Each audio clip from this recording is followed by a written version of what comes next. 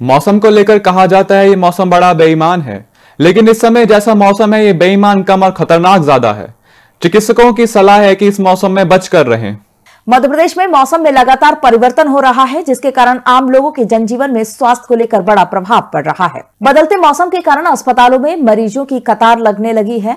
लोग मौसमी बीमारी से परेशान हैं। भोपाल के जेपी अस्पताल, मेडिसिन विभाग के एमडी राकेश श्रीवास्तव का कहना है कि बदलते मौसम की वजह से वायरल के मरीज़ आ रहे हैं। सभी को स्वास्थ्य को लेकर सावधानी रखनी चाहिए। सूती कपड़े पहने, घर से निकलते वक्त गॉगल पहने और अभी ठंडी चीज़ें कम उपयोग करें।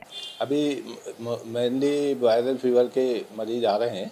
ये थोड़ा गर्मी बढ़ी है, इससे थोड़ा सा मौसम बदलाव आया है तो जिसमें हल्की ठंड भी है, अभी एकदम गर्मी नहीं आई है।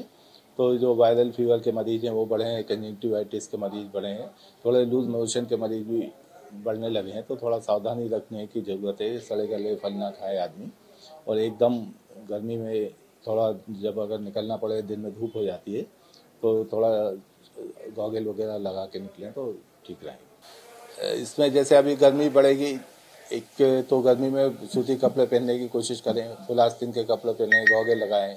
अब मेनली अभी तो होली आने वाला है तो उसमें बहुत सावधानी रखने की ज़रूरत है कि केमिकल्स का उपयोग ना करें। जो रंग यूज़ करें, वो बिल्कुल हर्बल टाइप के रहें, जो सिंपल कलर रहें, जो जो केमिकल्स से बने हुए जो रंग आते हैं, उनका उपयोग ना करें।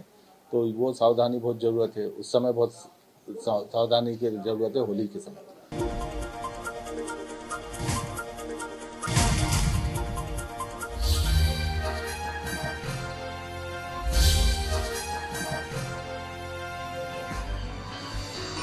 आप देख रहे हैं दखल न्यूज़।